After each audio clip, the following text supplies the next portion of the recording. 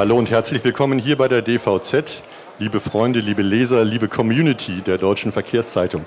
Ja, hier auf dem roten Sofa darf ich sagen, eine Legende der Logistik, aber immer noch sehr aktiv und sehr kommentierend unterwegs. Klaus Michael Kühne, eine große, große Ehre, Leo-Preisträger und äh, ja, voll im Geschäft. Und äh, Herr Kühne, wir reden hier die ganze Zeit über die Digitalisierung auf dem Kongress. Sie haben da eine sehr pragmatische Herangehensweise. Wir haben mal darüber gesprochen. Sie sagten damals, Digitalisierung, das kommt, das geht. Äh, wir müssen uns damit beschäftigen, aber ein Hype ist es nicht, oder? Also das geht, habe ich nicht gesagt. Und äh, ich glaube, die Digitalisierung ist äh, nicht wieder zu verdrängen. Sie hat uns alle erfasst und sie wird eher sich weiter verstärken. Es ist natürlich ein Schlagwort, unter dem viele Leute unterschiedliche Dinge verstehen und äh, es hat einen sehr unterschiedlichen Entwicklungsstand äh, von Branche zu Branche und äh, von Unternehmen zu Unternehmen. Äh, ich selbst bin der Meinung, es ist nur eine, ein anderes Wort eigentlich für die Informationstechnologie, die uns schon seit 50 Jahren zur Verfügung steht und die immer weiter entwickelt wurde und äh, in einsame Höhen getrieben wurde. Und die Tatsache, dass technologisch heutzutage so viel möglich ist, führt dann dazu, dass man das als Digitalisierung bezeichnet, die natürlich äh, zu gewaltigen Veränderungen in den Prozessen und äh, im gesamten Ablauf und eigentlich überall im Leben der Menschen führen wird und so auch in der Logistik. Also es ist ein äh, Thema, das höchste Aufmerksamkeit erfordert, aber das war schon immer so. Informationstechnologie ist schon seit Jahrzehnten ein sehr wichtiges Element in der gesamten Wirtschaft und darüber hinaus in der gesamten Gesellschaft. Herr Kühne, Ihr Lebenswerk kennzeichnet ja auch, dass Sie sehr früh äh, ins Ausland gegangen sind, dass Sie die Chancen in China und anderen Teilen der Welt erkannt haben. Aber ist es nicht gerade auch so, dass die Chinesen und alles das, was aus, aus äh, Südostasien zu uns nach Deutschland, Europa schwappt, eben halt in der Digitalisierung sehr viel weiter ist als wir teilweise, auch gerade im Bereich der Logistik. Sehen Sie da eine Bedrohung oder sehen Sie da eine, eine Chance? Ja, ich bin ja ein großer Anhänger der Globalisierung und bin der Meinung, dass die Welt so weit zusammengewachsen ist, dass man da keine großen Trennlinien ziehen kann soll. Natürlich, äh, die Chinesen sind sehr innovativ inzwischen geworden und äh, haben sich äh, Vorsprünge erarbeitet. Die USA waren immer vor Europa, sie waren uns immer um Jahre voraus. Auch von da kommen die größten Impulse. Aber die Europäer sind aufgewacht. Ich muss sagen, dass dieses Thema auch in Europa, glaube ich, mit großem Ernst behandelt wird und wahrgenommen wird und praktiziert wird. Also sehr große Unterschiede sehe ich nicht. Die Impulse kommen eben von allen Seiten und werden dann verschmelzen und äh, man wird sich gegenseitig befruchten. So wird hoffentlich die Welt immer effizienter werden. Ob sie damit besser wird, bleibt abzuwarten, aber effizienter wird sie werden. Ein wenig hat man den Eindruck, dass in den letzten Wochen, Monaten, Jahren die Welt ein wenig schlechter geworden ist. Sie sprachen gerade davon, dass Sie ein großer Fan der Globalisierung sind. Wenn wir uns aber das Thema Brexit zum Beispiel anschauen, auch andere, ähm, wie soll ich sagen, Abschottungen, zum Beispiel aus den Vereinigten Staaten, was man dort hört, dann hat man doch das Gefühl, es wird schlechter. Die Herausforderungen werden größer. Sie haben in Ihrer Karriere viele Auf- und Abs erlebt. Ähm, ähm, macht Sie das gelassen? Sehen Sie ähm, diese ähm, Tendenzen in den USA oder auch in dem Brexit entsprechend gelassen? Ja, wenn man natürlich in einem Alter ist wie ich, dann hat man viel erlebt, viel auf und ab, äh, viele Rückschläge, viele überraschende Entwicklungen. Aber eigentlich ist das Leben immer weitergegangen. Und äh, in der Tat, wir haben immer Krisenherde gehabt, aber wir haben jetzt besonders viele Krisenherde. Andererseits, meistens kommt es dann doch nicht so schlimm, wie vorausgesagt wird. Also ich glaube, die USA sind äh, stabil genug, um den aktuellen Präsidenten zu überleben.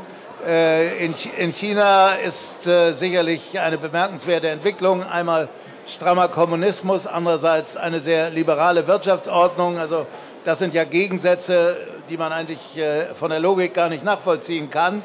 Also Überraschungen gibt es immer wieder und die unerfreulichen Krisenherde wie Nahost äh, oder auch Brexit würde ich auch dazu zählen, denn ich finde, das ist eine totale Unvernunft, was da äh, stattgefunden hat und noch stattfinden wird. aber wir müssen damit leben. Es ist einfach so, die Menschheit wird nie vernünftig werden, sie wird auch nie friedlich werden. Es wird immer wieder Auseinandersetzungen geben. Das ist sehr schade, das ist sehr bedauerlich, aber wir müssen damit leben. Ein großer Punkt der Globalisierung ist ja auch das, was man äh, subsumiert letzte Zeit unter die neue Seidenstraße. Äh, wie sehen Sie die neuen Transport, die neuen Verkehrsströme in dieser Welt? Die verändern sich doch eigentlich auch, oder? Oder, oder äh, sehen Sie da eine gewisse Kontinuität? Nein, natürlich. Äh, neue Verkehrswege hat es auch immer wieder gegeben und das sind Pionierleistungen, die sind äh, durchaus zu begrüßen. Äh, auch alle Möglichkeiten, die es gibt, müssen ausgeschöpft werden. Und wenn zum Beispiel der Bahnverkehr durch Russland und von China aus äh, immer besser funktioniert, dann werden die Warenströme dort äh, sich teilweise hin verlagern. Die Seidenstraße äh, wird äh, zügig ausgebaut und äh, wird an Effizienz gewinnen. Es ist imponierend, wie die Chinesen dieses Projekt vorantreiben und ja auf den verschiedensten Wegen sich Europa erschließen. Allerdings die Masse äh, der Güter wird immer auf dem Seewege laufen. Also ich glaube nicht, dass es da zu massiven Umschichtungen kommt. Aber es kommt in äh, bestimmt, für bestimmte Branchen, für bestimmte Güter äh, gibt es neue, effizientere, schnellere und möglicherweise auch preisgünstigere Wege. Hier beim äh, DLK sind Sie ja auch in einem Panel nachher. Es geht um humanitäre Logistik, es geht um äh, den Kontinent Afrika, es geht um, um die ganzen Katastrophen, die wir in der letzten Zeit, äh, auch Unwetterkatastrophen, die wir erleben mussten, Kriege, Konflikte, bewaffnete Konflikte und die Frage, was kann die Logistik dort tun? Was kann aus Ihrer Sicht die Logistik dort tun? Ja, ich habe ja eine große Stiftung und innerhalb dieser Stiftung haben wir einen bestimmten Bereich, der nennt sich HELP, humanitäre Logistik, äh, wo wir mit einem Team von Mitarbeitern über eine separate Gesellschaft äh, drei äh, Zentren haben. Einmal Ostafrika mit einem Büro in Kenia, einmal Nahost mit einem Büro in Amman und Südostasien mit dem Zentrum in Singapur. Und dort beraten wir Hilfsorganisationen, sogenannte NGOs, bei denen die Logistik äh, zwar eine große Rolle spielt, aber das Know-how unterentwickelt ist. Äh, man weiß im entscheidenden Moment eben dann immer nicht, wie man die Ware sicher und eben schnell, effizient in die notleidenden Gebiete zur notleidenden Bevölkerung bringt. Das kennt man aus zahlreichen Beispielen und da haben wir uns das zur Aufgabe gemacht, mit qualifizierten Mitarbeitern, die Logistikexperten sind einerseits, aber andererseits auch wissen, wie man ein solches Know-how auf die äh, Hilfsorganisationen überträgt. So sind wir mit etwa 30 weltweit äh, tätigen Hilfsorganisationen in Kontakt, beraten sie, führen Schulungskurse für deren Mitarbeiter durch und das ist eine recht muntere Veranstaltung geworden, die sich ständig ausweitet, weil die Bedarfe sind sehr groß und gerade Afrika ist natürlich das Paradebeispiel, wo es noch am wenigsten funktioniert mit der Logistik. Insofern begrüße ich auch die Sequenz, die jetzt folgt unter Leitung von Herrn Professor Baumgarten. Das ist ein sehr wichtiges Thema. Das gehört auf den äh, äh, Deutschen Logistikkongress und äh, das ist noch sehr ausbaufähig. Und ich wünschte mir, dass möglichst viele Unternehmen unserer Branche sich diesem Thema auch sehr konzentriert widmen werden. Letzter Fragekomplex. Sie erwähnten Ihre Stiftung. Die ist ja auch sehr aktiv im Bereich Ausbildung, Fortbildung, Universitäten. Sie sponsern dort einige ähm, Hochschulen. Es gibt die Kühne Logistics University in Hamburg. Wie ist es eigentlich um, um den logistischen Nachwuchs bestellt? Ähm, Sie, ich hatte Sie als Logistiklegende äh, äh, hier vorgestellt. Äh, welchen Rat geben Sie eigentlich der Branche, aber auch den jungen Leuten, die damit mit dem Gedanken spielen, in die Logistik zu gehen oder auch nicht. Also das mit der Legende haben Sie jetzt schon zum zweiten Mal gesagt. Beim dritten Mal gibt es eine ernsthafte Verwarnung, wenn nicht eine rote Karte. Also ich fühle mich nicht als Legende, sondern als äh, lebendigen Menschen und äh, möchte auch eigentlich nie eine Legende werden. Also ich bin Praktiker und äh, wenn Sie sich nach den Ausbildungsdingen fragen, es ist ja klar, Unsere Branche ist eine sehr lebendige, ist eine ständig wachsende und äh, fordert immer mehr qualifizierte Arbeitskräfte auf allen Stufen, aber eben auch auf der Stufe der akademisch geschulten Mitarbeiter. Und deshalb hat sich meine Stiftung es zur Aufgabe gemacht, schon seit Jahrzehnten äh, den akademischen Nachwuchs in der Logistik äh, eben zu unterstützen und zu fördern, dadurch, dass wir Lehrstühle finanzieren von Seiten unserer Stiftung. Schon lange arbeiten wir mit der WHU zusammen, mit der ETH in Zürich, mit der Technischen Universität Berlin und mit einigen anderen. Und äh, dann haben wir vor sieben Jahren die Kühne Logistics University in Hamburg gegründet, eine, die einzig weltweite reine Logistikuniversität, die sich gut entwickelt hat, die immer noch klein ist, aber ständig wächst und die ein anspruchsvolles Programm äh, auf der Bachelor- und auf der Masterstufe äh, anbietet. Und äh, es ist immer eine Freude zu sehen, wenn nach zwei oder drei Jahren die Studenten ihre äh, graduierten äh, Diplome bekommen, äh, dass sie aus allen möglichen Ländern kommen, dass sie sehr begeistert sind, sehr äh, erfreut sind und positiv berichten über das Studium und dann in Führungsaufgaben in der weiten Welt gehen. Und äh, diesen äh, Anspruch habe ich, dass wir das immer noch ausweiten, dass wir weitere Felder finden, wo wir Aus- und Weiterbildung auf verschiedenen Stufen, aber eben auch auf der Universitätsstufe von meiner Stiftung aus fördern.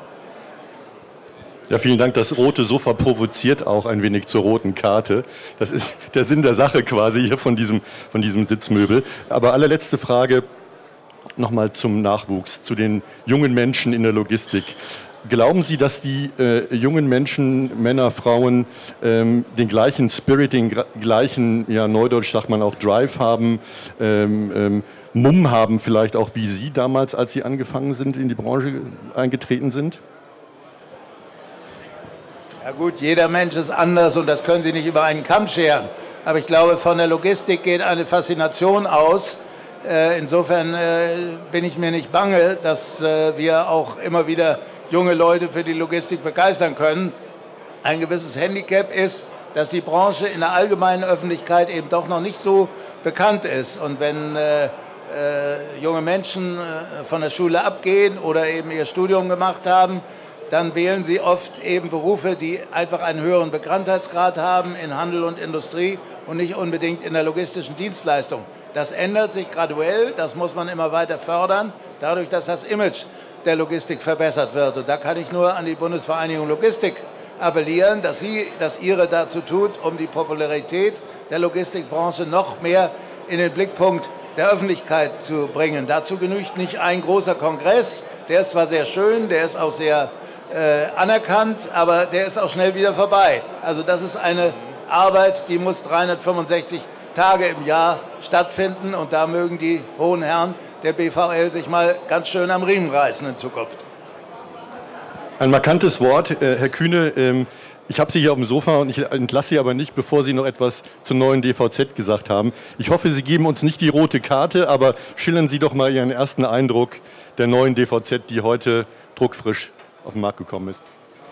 Naja, also äh, auf der Titelseite sind die Farben äh, Blau, Gelb und Rot äh, äh, verankert. Entscheiden wir uns mal für Gelb. Also warten wir mal ab. Das ist ja nun die erste Ausgabe. Äh, ich habe das schon sehr sorgfältig beobachtet, denn ich bin ja seit 50 Jahren treuer DVZ-Leser, weil es damals die DVZ schon gegeben hat. Und äh, ursprünglich gab es ja drei Ausgaben äh, in der Woche und irgendwann, ich weiß nicht, ob Sie es waren oder einer Ihrer Vorgänger, gab es plötzlich nur noch zwei Ausgaben.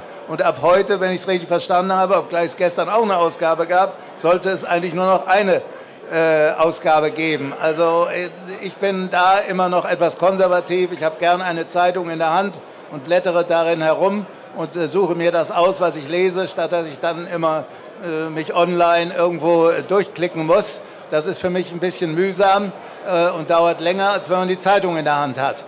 Also ich werde die Zeitung äh, an äh, manchen Wochentagen vermissen, äh, werde umso erfreuter sein, wenn sie einmal der Woche noch kommt. Und ansonsten wünsche ich Ihnen viel Glück mit Ihren Experimenten. Sie sind ja innovativ, Sie sind äh, angriffslustig, Herr Ehren, und das ehrt Sie, um bei Ihrem Namen zu bleiben. Also ich wünsche Ihnen recht viel Glück mit der neuen DVZ. Ganz herzlichen Dank und äh, online morgen früh und vielleicht auch schon äh, heute Nachmittag werden Sie dieses Interview verfolgen können. Und dann auf jeden Fall in der nächsten Woche, am nächsten Mittwoch, in der dann zweiten Ausgabe der neuen DVZ. Vielen Dank, Herr, Kühne, dass Sie hier auf dem roten Sofa gewesen sind. Es ist wirklich eine große Ehre gewesen. Und äh, Sie werden gleich im Panel mit Herrn Baumgartner äh, entsprechend über humanitäre Logistik auch äh, noch äh, eine, eine, eine, Speech halten. Und da gehen wir gleich äh, hin und schauen uns das mal an. Ja, ich hoffe, alle kommen mit, denn der Saal muss voll werden. Das ist ein Wort.